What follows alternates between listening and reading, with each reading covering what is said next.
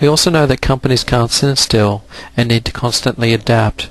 We are providing the tools to enable the configuration control of processes through workflow in this I've release. logged on here as Nancy the sales representative. I'm going to go into our new expense management module and enter a simple expense. This process is driven by workflow. The workflow engine that we've embedded in this release is the Windows Workflow Engine, which is a core .NET component. You'll see some of the great features like the importing of credit card, which enables me to reconcile transactions to save me rekeying. I'm going to enter a simple expense line, in this case a hotel. The reason for doing this is to show you the work that we've done in embedding a policy engine.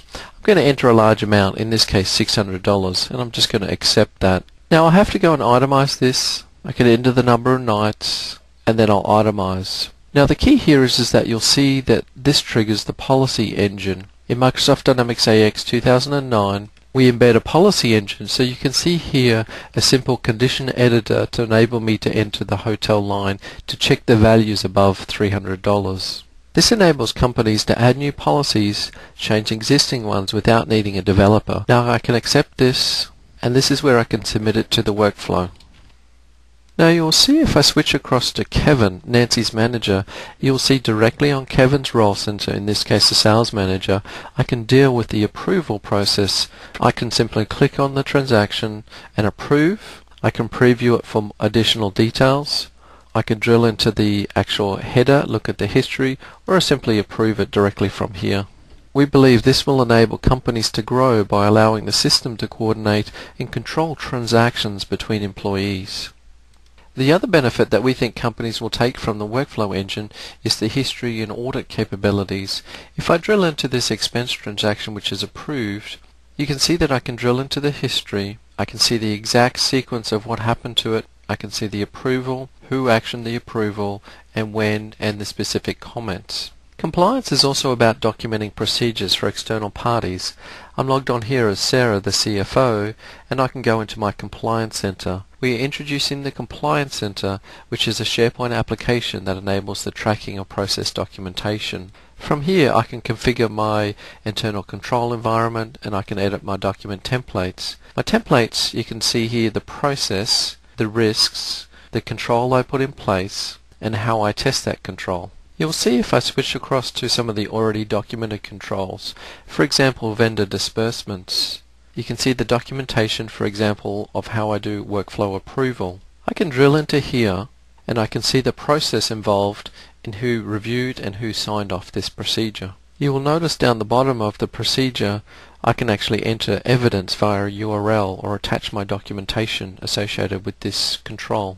In this release we are providing an integrated task recorder that makes it very easy to record processes in the business application. I can simply turn this on, record a task, and then export the documentation. You'll see here the recorded tasks. If I pick for example the AP parameter one, I can generate a document. So you will see here the document opened and the screens captured from the business application. In this demonstration, you would have seen the fundamental work that we have done in this release to implement a new workflow engine and how it can be used to coordinate transactions between employees, and also how the policy engine and expense management can be used to control internal compliance to policies. You have also seen the work we have done to provide new tools like the Compliance Center to help companies manage the documentation process around regulatory compliance. As businesses expand globally, so too do the complexities of managing accurate business insight and standardizing operations across multiple locations.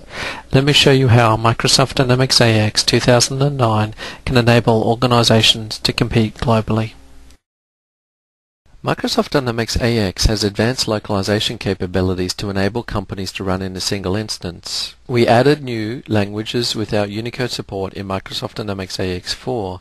You can see here the UI in simplified Chinese. In this release, we've done the last technical features we needed to support any language.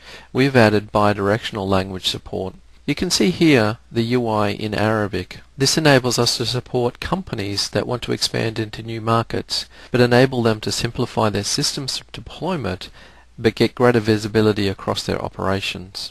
In this release we've made massive advances in our functional footprint. We have added multi-site support. I can drill into the locations view which enables me to see my company structure and then I can drill in I can see my site structure. From here I can maintain my warehouses and my production units. For documentation purposes I can export this to Visio.